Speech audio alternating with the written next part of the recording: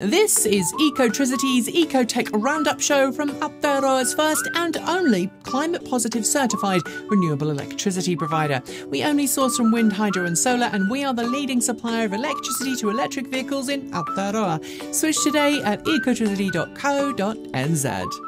Welcome back to another roundup of news from the world of clean cars and green energy. Thanks for joining me. We are starting with some amazing news for fans of the MG4 EV and low cost EVs, namely that MG New Zealand has announced a brand new entry level model. As announced last week, the MG4 51 kilowatt hour Excite is going to launch from today with a starting price of just shy of 47,000 Kiwi dollars, which, after taking into account available rebates, means that it will be the first EV that you can buy in Aotearoa for under 40 grand after incentives. If you remember, Gav got to see the MG4 for the first time at Fully Charged Live in Australia earlier this year but I know that as soon as he can get his mitts on one to drive, he'll be giving you the very best review right here on Ecotricity's YouTube channel. So make sure that you hit that subscribe button so you don't miss it. Chevrolet has officially held the first press drives for its Silverado EV work truck this week, and early reviews are rolling in. While many seemed pleased by the 450 miles, 724 kilometers of EV range that the launch edition of the Silverado EV, the Silverado EV 4WT, comes with, they were less impressed by the truck's acceleration when towing a full 10,000 pounds or four and a half metric tons. More frustrating was the realization that Chevrolet has quietly scrapped plans to offer a $40,000 version of the Silverado EV work truck, with the yet to launch Silverado EV3WT becoming the entry level work truck at nearly 75 grand. Moreover, only fleet customers will be able to order WT variants, with the consumer friendly RST expected to cost upwards of 106 grand. Over the past few years, we've watched as the global electricity grid mix has trended towards replacing fossil fuel generation with renewable energy generation instead. And while there have been some outliers who are commissioning more coal and oil power stations than anything else, we learned this week that the US is most certainly not one of them, with the latest data from the US Energy Information Administration, or EIA, showed that for the first third of this year, electricity generated from solar grew by 10.24% compared to the same period last year. This represented faster growth than any other energy generation method. Add solar and wind power generation together for the period, and they accounted for 17.9% of all electricity generated in the US. That's more than coal and nearly as much as nuclear power. While we reported last week that the Volkswagen Group was celebrating producing its 1 millionth MEB based electric vehicle, the news from the company was less rosy this week. That's because midweek we learned that Volkswagen has scaled back some of its production plans at the Emden production facility in northwest Germany, where it makes the ID4 and ID7. According to local reports, the facility will be closing its electric vehicle lines for one month during the summer and will cancel one production shift completely for two weeks. This is in contrast to the other non electric vehicles produced at the same facility facility, his production lines will continue with no break in output. Sources close to the company suggest that Volkswagen overestimated demand for its range of electric vehicles and thus has opted to halt production temporarily to allow stock levels to fall. It's probably pretty widely known by now that Chevrolet is ending the production of the Bolt EV and Bolt EUV this year to replace them with two new larger EVs, the Blazer EV and Equinox EV. This week, the first sellable Blazer EV rolled off the production line in Mexico ahead of the official start of sales in the US this summer. The Blazer EV will launch at the 2LT trim and RS trim levels, selling for an estimated $47,500 and $52,000 respectively. Those looking for a more affordable Blazer EV will need to wait for the 1LT version, the launch and price for which have not been announced yet.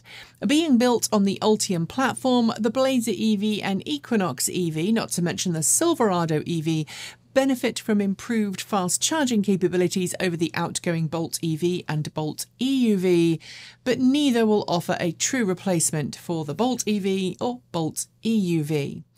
As Tesla continues to push ever upwards and dominate the electric vehicle sales charts and more increasingly the automotive sales charts, it's looking to ramp up its production capabilities around the world.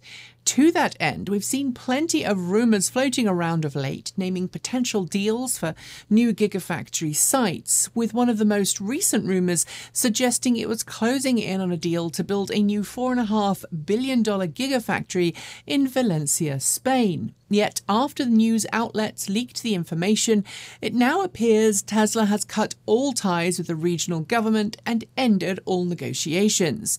It does seem a little bizarre that Tesla would just end negotiations for a facility just because of leaked information, but this wouldn't be the first time that Tesla has reacted badly to press leaks. Ford's F 150 Lightning electric pickup has been on sale in North America for just over a year, and even if its entry level stock form is still extremely quick and extremely powerful. Now, according to CarBuzz, Ford has trademarked the name Flash to be used under a classification that covers automobiles, pickup trucks, electric vehicles, sport utility vehicles, and their structural parts. CarBuzz says it's the name that Ford is considering using for the high performance variant of the F 150 Lightning it teased back in January. However, given Ford has remained quiet on the issue, this is definitely one in the rumour pile. And it's also important to note out here clear that automakers very often trademark things that they never actually use. That said, Ford has confirmed that it is working on a higher performance F 150 Lightning, and the name Flash or Lightning Flash might be quite fun. What say you? Think of British automaker Lotus, and you're likely going to think about small two seat sports cars, Lotus's legendary tuning of European production cars, and perhaps its part in bringing the Tesla Roadster to production. This week, Lotus published more details about its Eletre, the upcoming electric SUV, a car which was revealed last year but which we keep forgetting is actually coming to market because putting Lotus and SUV in the same sentence feels antithetical. The Eletre comes with a sizable 112 kilowatt hour, 800 volt lithium ion battery pack that manages a respectable 175 watt hours of energy density per kilogram, as well as a claimed range of up to 373 miles, 600 kilometers per charge on the WLTP test cycle. The bad bit, though, is the price, which starts at an eye watering £89,000 or equivalent. It's nearly eight years since the Volkswagen Dieselgate scandal rocked the automotive world, and prosecutors are still actively prosecuting those responsible. The latest to receive their punishment is former Audi boss Rupert Stadler, who was the first former board member from Volkswagen to admit under oath that he was partly responsible for the company choosing to install emission cheat devices in some diesel vehicles. His admission of guilt, however, appears to have led to a pretty lenient sentence, with the court handing down a 21 month suspended sentence and a fine of 1.1 million euros, which frankly is something that's hardly going to be a push for a former CEO of Audi. Former colleagues at the firm who also received sentences this week were given similar treatment, but it is worth noting that former engineers have already served prison time. For the last few months, we've been keeping an eye on the troubling finances of Lordstown Motors, and this week, as we predicted, the company filed for bankruptcy protection. Filing for Chapter 11 this week, the firm blamed its souring relationship with Foxconn, a company it's begun legal proceedings against for alleged breach of contract. While Foxconn had originally promised to invest in Lordstown, reports from several sources this week suggest that Lordstown's current CEO was effectively go ghosted by Foxconn executives when he travelled to Taiwan to try and chase up the investment Foxconn promised Lordstown. But more telling to us is the fact that the company's former CEO and founder, Steve Burns, sold all remaining Lordstown stock he held in late May. Before we get to the last two stories, I have a quick question.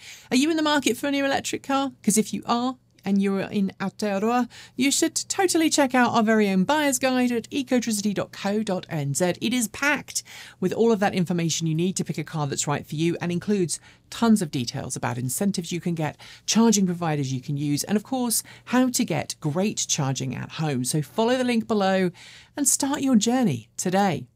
In order to transition the world's private vehicle fleet to electric, it is a given that every country needs to see an increase in diverse and accessible public charging. This week, the National Renewable Energy Laboratory in the US, NREL for short, published its latest analysis indicating just how many charging stations will be needed nationwide in the US to sustain a total vehicle population of between 30 and 42 million plug in vehicles by 2030, which, by the way, is far smaller than the current total US private vehicle fleet. Picking a mid range number of 33 million plug ins, it predicted the US will need 28 million charging points split between 26.8 million privately accessible level 1 and level 2 charging station i.e., in your home, 182,000 publicly accessible fast charging stations, and then 1 million publicly accessible level 2 charging stations. More cars, of course, require more charging. And finally, while many of us are still focusing on getting ground based transportation switched away from fossil fuels and towards more sustainable sources of energy, interest in and investment of electric vertical takeoff and landing craft is really taking off right now. No pun intended. Some companies developing eVTOL craft are still very much in early prototype stages, while others are little more than technology demonstrators. But US company Joby Aviation has just celebrated receiving a special airworthiness certificate for the first aircraft built on the company's brand new pilot production line in Marina, California. While I think it is fair to note that a pilot production line is far from full scale production and there are some technicalities being exploited here to claim the first, since the company calls it a quote, production prototype. We should note that Joby Aviation hopes to be the first eVTOL company to deliver a production eVTOL craft to a paying customer, none other than the US Air Force sometime next year. And on that note, we are done for the day. Before I go, though, do make sure you've hit the notification bell so you don't miss out in the latest in EV news from this channel. And of course, if you haven't already switched yet, why not switch to Aotearoa's first and only climate positive certified renewable electricity provider? It is super easy to make the switch, and in doing so, you'll help the nation wean itself off dirty energy and onto clean green power that will keep the land beautiful for generations to come. I won't be here next week, but don't worry because my buddy Kate Walton Elliott will be here instead to host this show, and I will be back the following week. In the meantime, don't forget to check out the latest videos from Gavin Kiwi EV Shoebridge on this very channel. He's just done a range test in the MG ZS EV Long Range, basically the MG4's bigger brother, so make sure you check it out. It is definitely worth a watch. Enjoy the rest of your day. I'm Nikki Gordon Bloomfield. Kakite! See you next time.